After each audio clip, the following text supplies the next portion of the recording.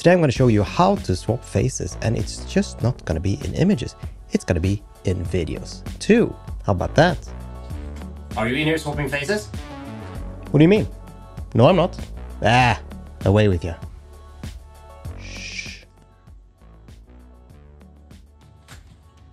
AI. I'm gonna show you Face Fusion 2.0. Let's get to it. Oh, and uh, I got a joke for you. A sheep, a drum, and the snake fall off a cliff. Think about that one. So what I'm gonna do today, I'm, I'm gonna use this detailed text guide with the pictures and everything that I have on Patreon for all my subscribers there. So I'm gonna show you parts in the video and if you wanna delve much, much deeper, you can find the text guide in my Patreon in the links below. So that is uh, what we're gonna follow today. So we're gonna open a command window like it says here. I'm gonna copy paste this one here, just put that in. We're git cloning the Face Fusion repository. That is done. It says in the guide, go into the newly created folder. We're doing that, cd Face Fusion. And then we're gonna start our virtual environment. We can copy paste that. And then the next one. So we're basically just copy pasting now from the guide. Python install Py. Then we're going to get some settings here. And since I have NVIDIA, I'm going to choose CUDA here. and press enter. If you have AMD, you can choose ROCm. And if not, you can use CPU. If you're not sure, just go with the default. I'm again selecting the CUDA here. Now where everything is collecting and downloading and installing, and that's going to take a couple of minutes. If you have supported Face Fusion, you will have a gold edition install package that we can go through. If you don't, you're basically going to be finished with the install after this. Now the next step after this is installing the CUDA Code Toolkit. So if you don't have that or the necessary NVIDIA drivers, you can get that here. If you have all the prerequisites installed already, you can run Face Fusion now. If you have the gold edition, we're going to get to that in just a second. But you just run with Python run pi. And I'm again copy pasting that from the guide. It may take a little while to initialize, but once that's done, it's going to start downloading some files. So I'll just wait for that and catch up with you as soon as it's finished. Once you see this running on local URL, your Face Fusion has started and you can copy paste that and put that into a browser window. You're now running your Face Fusion 2.0, the brand new Face Fusion. Now let's quickly take a step back and I'll show you how to install the Gold Edition. It's just a simple plugin patch. If you don't have that, you can just skip forward a couple of seconds. Now, if you're supported Face Fusion, you're going to have a gold package installer and just go into your folder. And this is going to be in the guide as well and open the package. And if you have Pinokio and you're technically skilled, you can use the JSON, but if you don't, just ignore that. You can open this file, take those two, just drag and drop them into here. We're gonna just copy them in here. So now we have a gold edition folder and a gold file here next to our run and install files. If you don't have your command prompt still open, you can just click up here, type cmd, that will get you your terminal. You again need to activate the virtual environment, copy paste from the guide, or just check the video here. Then type python gold pi. That will install the gold package. You can press with spacebar here to select the features that you want to install. I'm selecting all of them and then pressing enter. Now they have installed and we can go back to running Face Fusion like we did previously. That was by typing python run pi or just copy paste from the guide. It will again download some gold edition files, but it's going to be fairly quick. And once that's finished, you will again see a link that you can copy paste into your browser. And now you can see here Face Fusion 2.0 Gold Edition. And with the Gold Edition, you get some cool new features that we're going to look at in a bit. Now let's first check out how to use Face Fusion. Face Fusion is an amazing face swapper that works even with video. The cool thing is you can even use YouTube video links. Just make sure you have all the rights and the copyright to use the videos that you want to play with. Same with all the faces and, and models. So the first thing we're going to do here is change our output path. Now this isn't totally necessary, but it's convenient if you want to know where all your results are being saved. Now it's just currently a um, local temp folder. So we're just going to change this to our Face Fusion folder and I'm going to create an output folder here. For the top box here, we're going to load the face that uh, we want to use. And this is a picture of me. Lovely, isn't it? And then for the target here, this is where we're gonna use picture of the people that we want to change. And this example here, I found just an image on Pexels. And you can quickly see here in our preview that it has changed the leftmost person here with my face. And while I have the face selector mode set as at reference here, I can select then here which face is being swapped. So now I change to the woman here wearing the e-shirt. And if I, for example, press the, the guide to the right here, that face is going to be swapped. Now, if you instead choose many here, for example, you can see that it's trying to change all of these faces. All of these faces are now resembling my face. Zoom in here a little bit for you. You can now clearly see they are being swapped. Now, the quality of these swaps are going to be dependent on the face swap model. There are a couple of choose from. The Ghost model here, they are available only with the gold package. The InSwapper is uh, modeled by InsightFace, which is available for educational use only. The SimSwap and the SimSwap here is available in higher resolution, 256 and 512. The InSwapper at the lower resolution, 128, is, however, in my opinion, better than the others, even at the lower resolution. So let's say, for example, we use the SimSwap here, you can still see that it works, but depending on the output you're looking for, you're gonna have to uh, see which model works best for you. Oh, and uh, by the way, remember also to change here your execution providers. Now it's only running with CPU because we didn't make any choices here.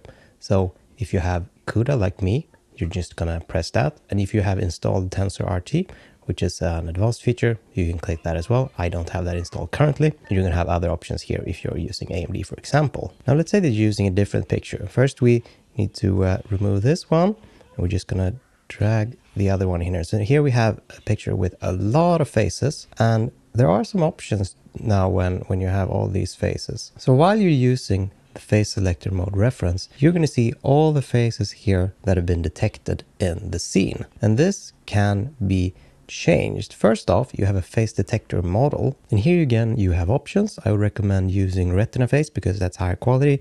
YuNet will be faster if you are on a slower machine. And the face detector score here, if you change this value, let's say we set this to zero, for example, you can see here now that a lot of faces here are being detected. So anything that kind of resembles a face, even this here, doesn't even look like a face, be registered as a face.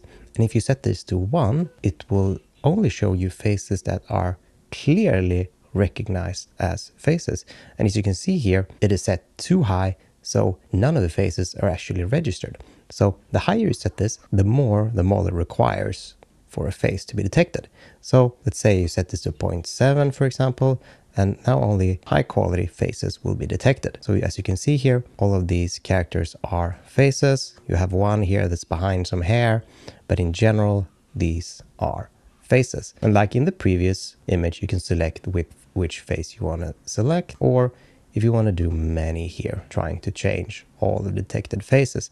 As you can see, this face has changed, this one, this one, this one is trying to change all the faces it detects. You can also select in which order these faces are detected and the settings here and we go into detail in Patreon guide. Just remember that this is just a preview and if you want to fully finalize this image, you're going to have to use start down here, which would start the render of your image. Now when pressing start, it said select the file or directory for output path. So let's make sure that our output path that we selected here actually exists. We're just going to go in a folder and create a new folder called output.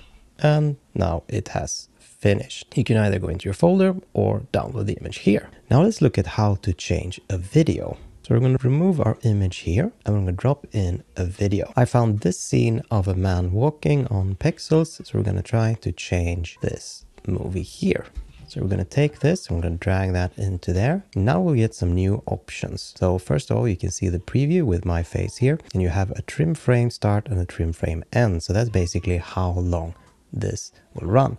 So I'm going to make it a little shorter. Let's do half of the video. And then you have more options to use from. Actually, you can use this even some of the still images, but this is especially good for the video. Now, if you select the face debugger here and you change from the reference to one or many, you will see that you get a little box here. You can see once you preview the frame here that you can also get little dots here for the eyes, the nose and the mouth. And this is so you can see what you're doing with these tools here.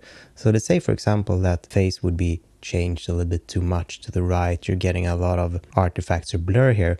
Then you can change the face mask padding right. See here that our box gets smaller. Maybe you want to keep the, the chin here so you could get the bottom up a little bit like so. So that way you can adapt more of what the face is being swapped. And if you change the blur here, you're going to change the blur get swapped into with the target face. And that means you can also, for example, swap just half of the face, which is uh, possible with this tool. And the blur goes from the edges and inward.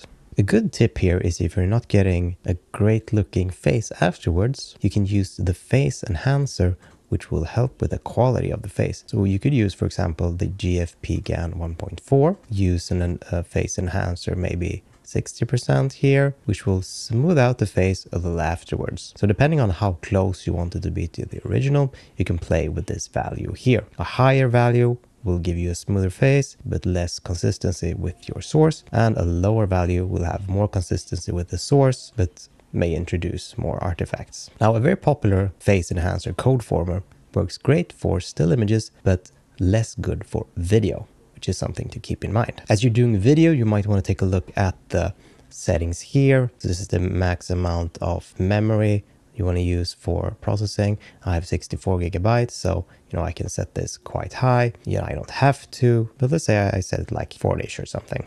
And the thread count here, you can is basically if you want your CPU to work harder. If you have a CPU that can handle a large thread count. In the guide, you will see comparisons between some of the different models and the different face enhancers and settings. So go check that out if you want more in detail and want to see what might be the best settings for your project. Once you have all the settings you want, you can just press start here and the video will start to render for you. As it's a video, it will be a lot of frames here, 197 frames.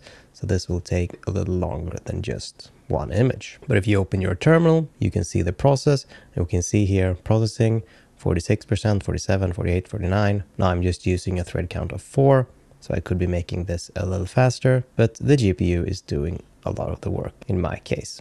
Our video is now completed and we can see the results here. Now it's cropping a little bit out of frame here. As you can see, my face is swapped fairly good. Just remember to remove this little box that we inputted.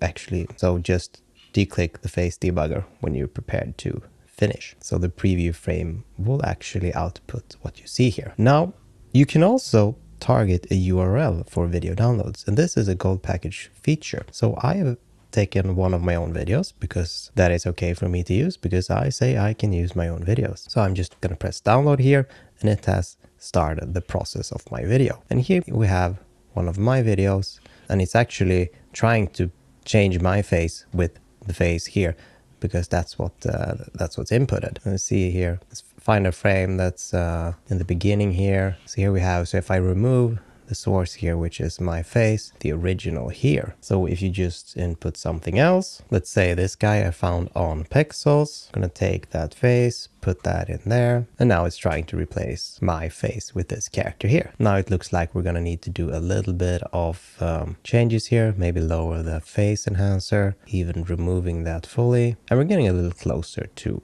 original. So that's a cool way to use any video without having to download it first. Well, it's actually downloading it, but it just uh, you just target URL here. So that's really cool. So I hope you learned something today. As always, have a good one. See ya. Oh, and change faces responsibly.